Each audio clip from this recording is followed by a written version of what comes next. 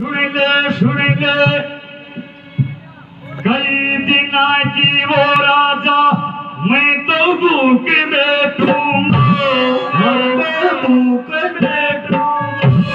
नगर के दरवाजे से ही अपनी आवाज़ शुरू कर देता है।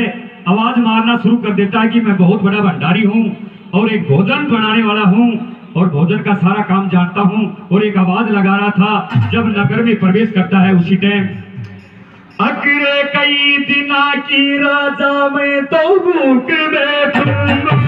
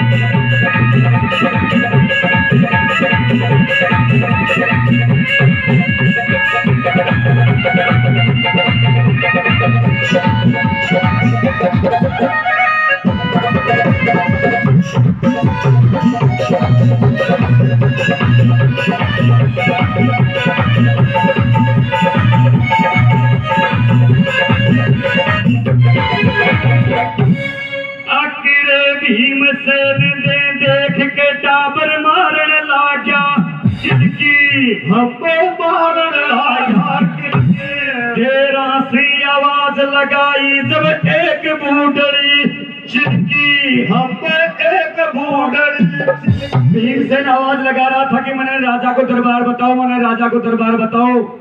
और भीमसेन बताते हैं कभी लोग बताते कि भीमसेन की 48 हाथ की लंबाई और बत्तीस हाथ की चौड़ाई। इतने बड़े आसट को देख करके टाबर गाँव का, वो नगर का किलकी मार्बल आगा और जब तेरों से आवाज़ लगाई, जब कोई करने को नहीं और एक बूढ़ी आकर न्यू बोली, अरे बेटा, आज तक मैं इतना बड़ो मोटियार कौन देखो उरे सिखाता लापर तेरो सिर पुचकारू बताते हैं सजनों बुढ़िया के सामने जाकर भीमसेन जब बैठ जाता है तब भी बुढ़िया का उसका हाथ सिर के ऊपर नहीं जाता है। तो कहने लग जाते कि बेटा धन है तेरा माई बाप तो नहीं बड़ो बनायो।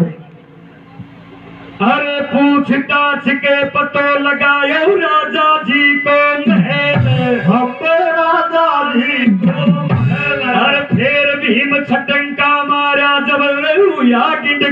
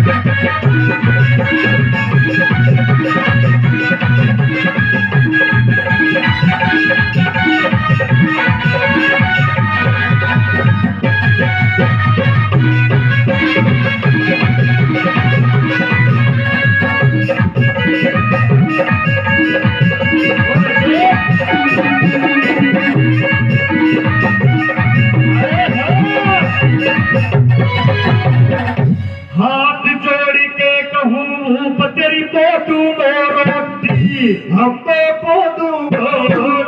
पर दूध पीवन ने दिए मने, एक बाखड़ सी चोटी हमको बाखड़ सी चोटी राजा बोले रो मैं खुद छाए मांग तो डोलू और तू का सब मेरे के लिए धीड़ो बांधिए मैं तो बता, दुनिया के छाए मांग तो डोलू तने झोठड़ी बाँध के दूँगा है कि नौकरों को मैं की करूँगा बता।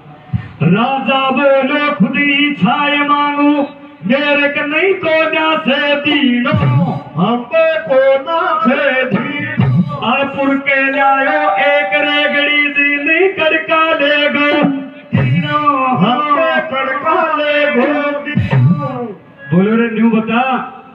भोजन के साथ साथ और भी काम करा तो बोले, सुन, भोजन के साथ साथ पहलवानी करा करूँ?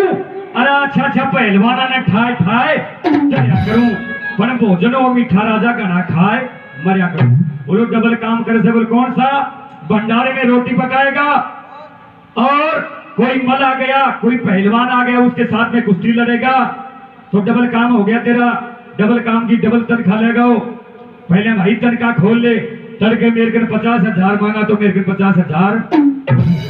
सुन राजा, अकरे तनखा को चाहे को न्या लो मैं सही गुरु को। चलो हम सही गुरु को चलो। हक तेरा नगर में